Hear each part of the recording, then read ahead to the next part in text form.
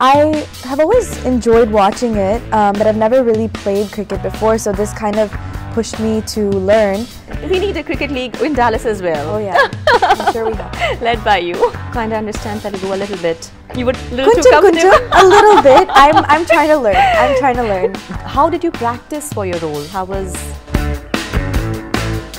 so would you like to tell our audience something about the story? Of course, we cannot reveal much about it. Uh, very innocent kind of a character, and